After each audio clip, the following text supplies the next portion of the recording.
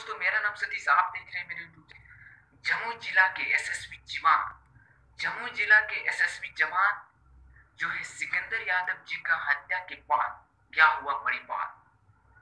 IG Sanjay Kumar ji ने कही बड़ी बात।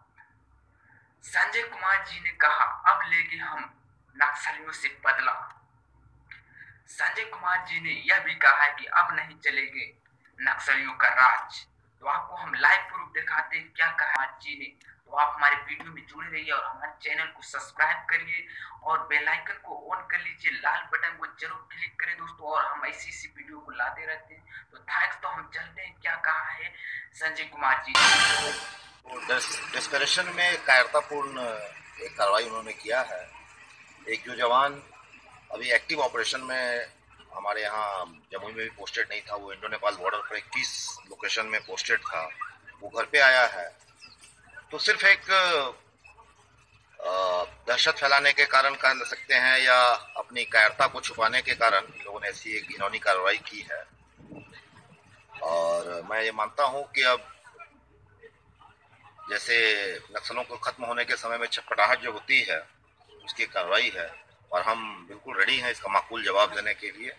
बहुत जल्दी हम भी बदले की कार्रवाई करेंगे और न सिर्फ़ इस इलाके से बट इस पूरे रीजन से हम ये नक्सलाइट्स का जो तांडव उन्होंने आम जनता पर और सरकार के ऊपर जो उन्होंने दबाव बनाने की छोटी सी कोशिश की है उसको बहुत जल्दी नाकाम करेंगे।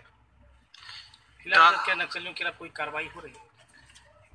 अभी हाल के ही दिनों में दो तीन दिन पहले काफ़ी एक अच्छा ऑपरेशन हमारे कोबरा सीआरपीएफ और एसएसबी ने मिलकर के इस इलाके में किया था।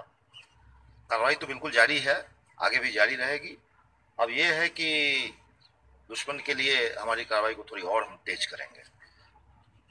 सर जवान को टारगेट करके लगाया है सर। अभी तक तो सर सिर्फ़ सिविलियन को निशाना बनाते थे या मुखबिर का आरोप लगाते थे सर। लेकिन ये जो यहाँ ड्यूटी में भी तैनात नहीं थे सर दूसरे जगह थे उसके बाद इस तरह से निशाना बनाया गया है सर। इस पे तो मैंने आपको शुरू में बताया ना कि एक डिस्परेशन है।